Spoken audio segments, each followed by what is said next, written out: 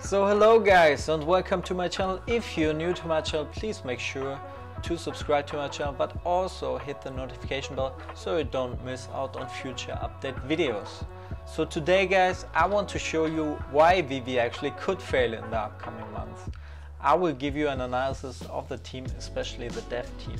I already made this analysis of the team in the last year. If you want to have a look at this video, you can have a look at here. But today I especially want to have a look at the executing kind of things, how they are executing in terms of the VeVe app. The overall analysis is of the four domains of the Clifton strengths. So if you don't know about it, if you want to do the assessment, I'll leave the link in the description down below. This will probably also help to make an assessment of your personal career looking forward, right? But today we want to have a look at the execution of the VeVe team, how they are doing, especially the dev team. They hired now a new product manager, which is Mitch. So first, let's have a look who, who is Mitch and if he can help the team.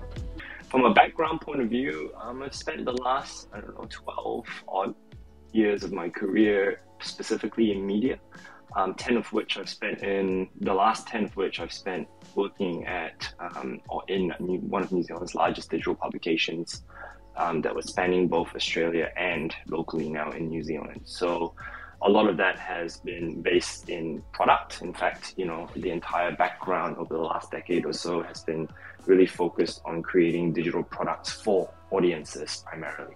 Yeah, so if, if we look at the profile of Mitch at LinkedIn, he seems to be a, like a really nice guy and also he has a lot of experience in product manager. However, he, I don't know how tech savvy he is actually. So at the moment we would need really a product manager who has also a lot of experience in yeah, the crypto kind of um, state. I mean, he, he can bring a lot of uh, structure into the team, which will help, but I don't know how we can help on, on the tech side of things. So let's have a look what his first impressions are of the dev team, of the VeVe team, so we get a, a better analysis ourselves. I guess um, from from what I've seen, just in that space where they need a bit of guidance um, and they need a bit of support and structure in order to get to an established kind of almost machine-like cadence of delivery. So that is the the behaviors that we need to embed within the team. And as I think everybody understands that embedding new behaviors and new processes do take a little bit of time. People do take time to adapt. And the interesting thing about VeVe overall, in terms of where its development sits, is that people are all over the world. Um, and there is no um, place where everyone is gathered like you know a traditional company would be. This is a true you know 2022 um, digital business where you know the, the the individuals that are involved in the development teams are right across the world and so working with different time zones and establishing good ways of working are some of the interesting challenges that we're facing at the moment. Yeah, so Mitch is talking about interesting challenges. So people are across the world, are working from across the world, especially also different time zones, which is quite concerning to me because in the initial phase, if you want to have an innovative product and also if you work with contractors and external people, you don't want to work in different time zones as well. So it seems a little chaotic to me. And um, also, I had a look at the LinkedIn profile of VeVe and Ecomi. So at VeVe, you don't see actually a lot of dev people, so mostly are in business development. And then we have also uh, Ecomi actually some engineers, but mostly from India and um, Taiwan region, which me know that yeah, they are mostly hiring cheap devs, which is not a great sign actually if you want to be cutting edge. If you want to have the greatest product, you should also hire great people, right? Maybe from, from FAANG, especially they, they have a lot of um, background experience also in, in, terms of processes and how to build uh, great code and APIs and so on. So let's have a look next what Mitch thinks which, which are the, the greatest roadblockers at the moment. Um, some of the bigger issues that we've seen at the moment, you know, are part of those growing pains that we're seeing. Um, things that should be automated are still somewhat manual. which is very normal. And we're trying to automate them. And as a result, sometimes human errors do occur. There are times where some of these bugs and some of these issues turn out to be much larger in terms of effort than we anticipated, and therefore the capacity for um, feature development actually gets eroded in favor of addressing some of these usability issues. So there are times where it goes from 90-10 to 80-20, and then it goes to 70-30, depending on the size of the bug. Yeah, so here's also quite concerning what, what he says to me, um, because it seems like they are fixing a bug with another bug. So they are building workarounds uh, which are not really effective, and also I guess there are bugs that take on 80% um, of the dev times. So that should be not the case and that all leads to um, yeah, the truth that the system is not really stable and um, there are not really like yeah, experienced developers in the team that are able to build a, a sustainable, to build a stable system here.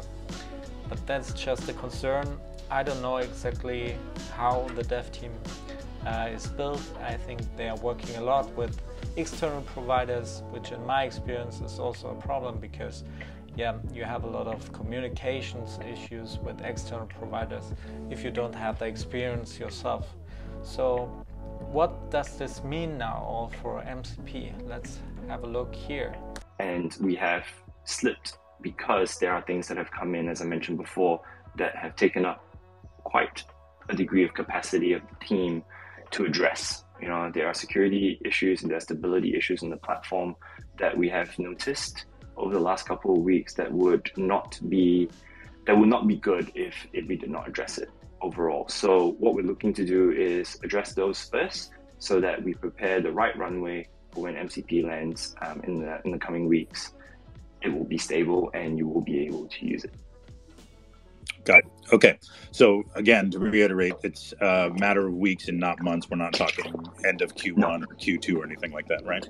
No, no, no. It's it's a matter of weeks at, um, at this stage. And again, right, they were talking about um, getting M- MCP like at the end of the year, and now we are here in January, right? And Mitch was talking again about bugs and unstable system, which leads to a lot of concerns on my side and I give them the take that they had problems with a payment provider buyer, right? But which was, in my opinion, also a major mistake um, to not go with different providers. So if, if you have one failure, especially in the crypto area, then you can go with another provider. So yeah, let's have a look what Alex is talking about. I recall when we first were talking about when we were very close to payout and then it got delayed like uh, early last year. Okay. Um, we had originally had a different partner, and I think if you recall from some of the um, from some of the medium articles, there was a company reference called uh, BlueSnap, right? And okay. in the process of the beta testing, that closed beta that we were using it, um, a, a, few select like 20 to 15, we were kind of scaling it out, more yeah. and more users to test the uh, different sizes of transactions, we realized that they weren't going to be able to um, meet our needs from sure. a, a, from, from a volume standpoint. Yeah. So that's why we um, that's why we moved to Wyre, and yeah. that's why it took a little extra longer. So again, right before they had Wyre, they actually went with BlueSnap, which is a provider which had not enough liquidity and that they only knew when they were testing it so which is also quite concerning because you should do your due diligence before right? And also you should go with major payment providers. But however let's get all this negativity out of the way because we are all here in the app because all these great licenses all these great IPs and superheroes and what I'm quite bullish on is that David Yu talks about these four pillars he wants to initiate, right? This year probably. And we get some of these four pillars. Let's have a look what he's talking about. Uh, we, we have number of pillars in, inside the company uh, we want to do. And the reason why we set these pillars is uh, we want to build an empire. Um, and when I talk about empire, I'm talking uh, I'm referring to like an empire building, state building. If you if you're running your car across the Empire State Building, it's not it's only going to make a little dent in them. And and the reason why is because these buildings are built with major pillars. So mm-hmm. one, one of the major pillar for us right now has been in, into the superheroes, as you have described. Um, and these are very evergreen characters. People see them in, in cinematics. People see them when they, they grew up with it, whether it's from the comic and the superhero they know. The other pillar, which you are talking about, are uh, areas that we're looking to put focus in, into are number one is music. We see um, a, a, great new way to bring music to the world. Um, other pillars that I really do believe that we, we, we will see a major shift into is sports category. Sports is probably one of the most sought after fandoms out there. Um, and when we talk about people laugh uh, superhero, sports is 10 times, tenfold. Yeah, the fans. They, you know, the fans, they, they go, I mean, if, some, someone actually ring, ring me up and told me how big a certain sport is in Australia, that there's over 60,000 people went to watch the practice game, just the practice game wow. in Australia. So it, it just shows you that sports fandom is, is untapped into that industry. And we're seeing um, some of the most expensive franchise out there, basketball team, football team, soccer team, Formula One. Um, sports is a huge category, and and and don't get me wrong, there there's a lot of competition in the sports arena. Um, obviously, everyone tried to fight for that um, piece of pie. Um, we have seen many many success. Uh, Dapper Labs, fantastic. Yeah, and David Yu is talking about the four pillars. I think the fourth pillar David is missing here is anime. So you would have anime, the superheroes, then you would have sports and music, and some of them are coming this year already to the app. So I'm quite excited about that. But however, we have also a new uh, competitor in the space with Amazon. So VeVe always compares itself to Amazon. We will see how that will play out. However, I think they have to get their stuff on the tech side of things. They should hire proper devs and pay them proper salary as well. And then I think VeVe still has a good chance to be yeah, a leading company in, in the Web3 space. With that said, guys, let me know in the comments down below. What do you think about all this? What are your opinion about Amazon in the Web3 space? And also make sure to comment down below, hit the notification bell so you don't miss out on updates in the future. And with that said, yeah, see you until the next time. Bye bye guys.